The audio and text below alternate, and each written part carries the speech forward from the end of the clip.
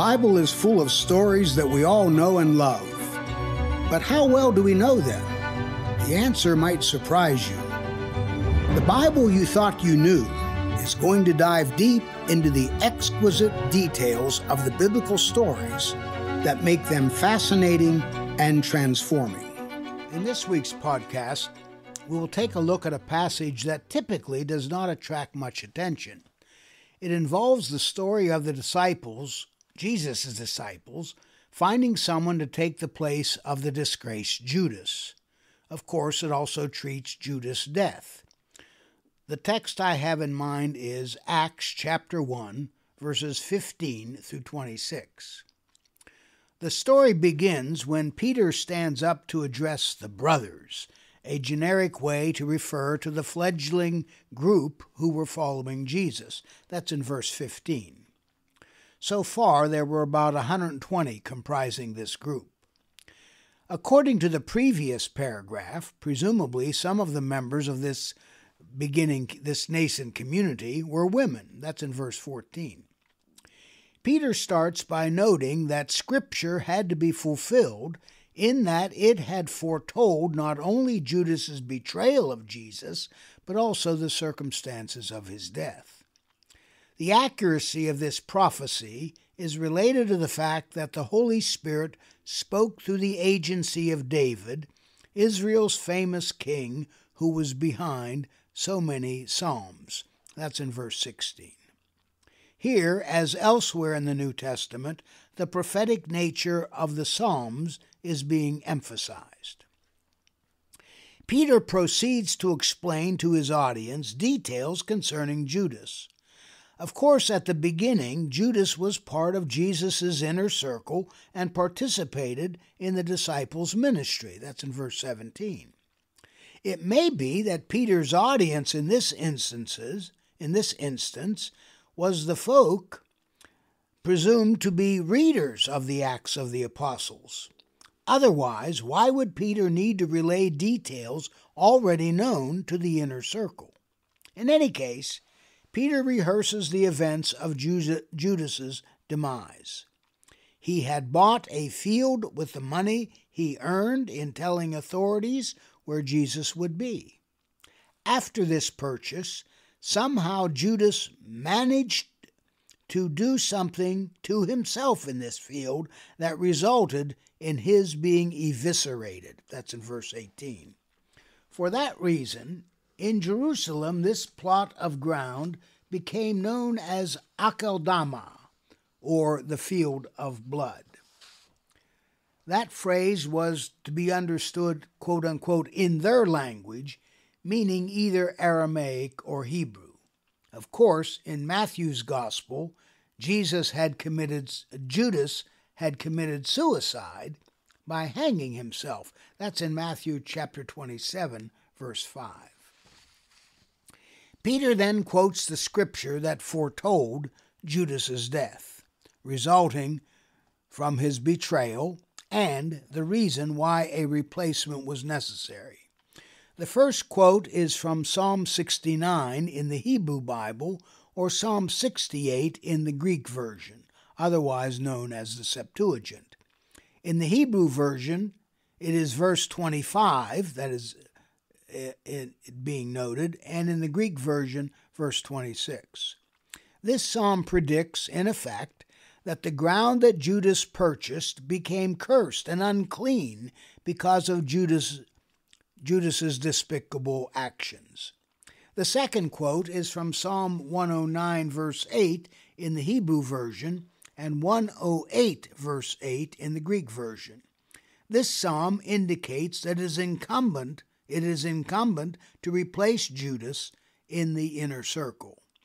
Peter wants the people to whom he is speaking become aware that what they are about to do was sanctioned by Scripture. At this point, Peter directs attention to the task at hand.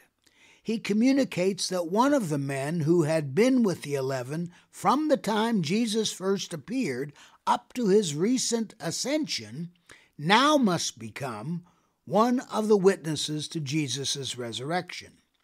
This means that since John the Baptist began his preaching and baptizing ministry, which was simultaneous with Jesus' first appearance, others besides the twelve apostles had followed Jesus closely. That's in verses 21 and 22 of Acts chapter 1.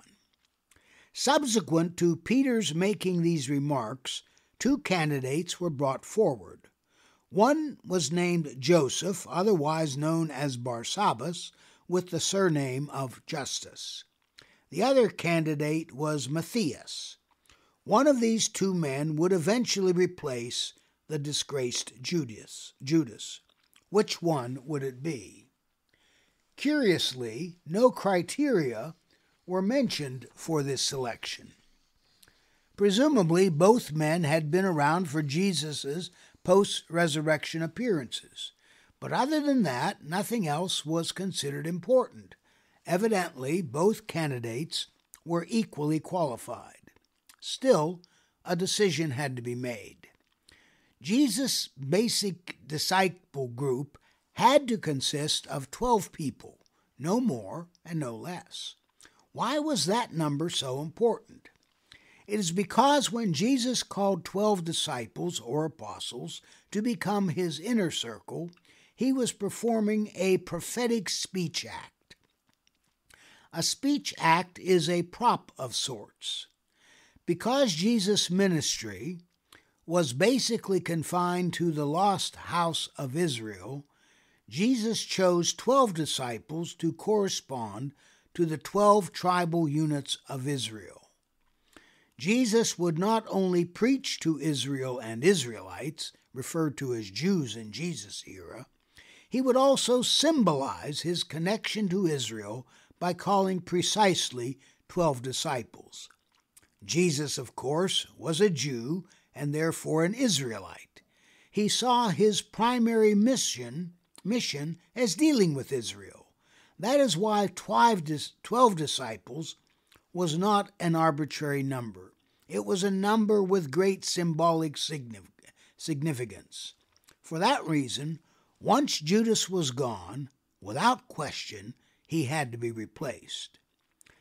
This need would require prayer, so prayers were offered. In this prayer, it was acknowledged that God knows what is in people's hearts that intimates that the Lord already knew who the best candidate to take over for Judas would be. Judas failed in his mission. The man who replaced him needed to succeed. That was the gist of this prayer. In effect, the prayer was designed to discern the will of God.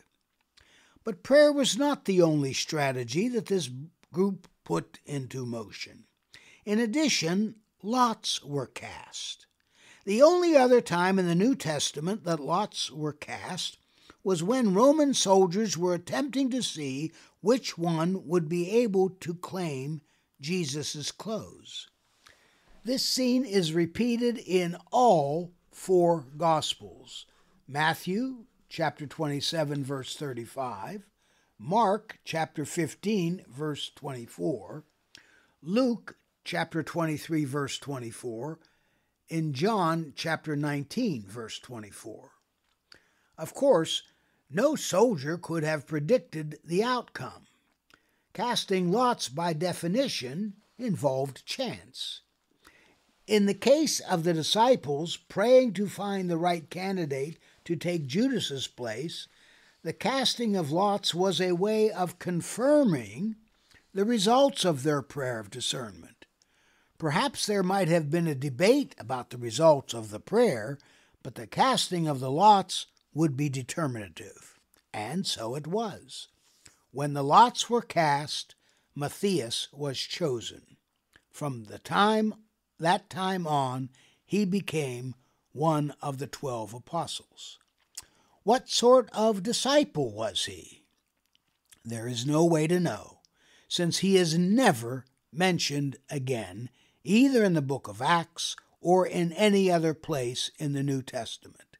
He began in obscurity. This is the first time we ever hear about Matthias. And he ended up in obscurity, This is the last time we ever hear about Matthias. He may have been a superb disciple. He may have been an above average disciple. He have, may have been an average disciple. He may have been a below average disciple. He may even have been a terrible disciple. There is no way of knowing. Regardless, henceforth he takes Judas' place as one of Jesus' twelve apostles. However, it is somewhat curious that the narrator does not assert in any way that the disciples' prayer worked just as the prayer, prayers hoped. The group prayed to discover God's will, but the lots clinched the choice. Now, all other things being equal, Matthias was probably the best choice. Clearly, that is what the disciples believed.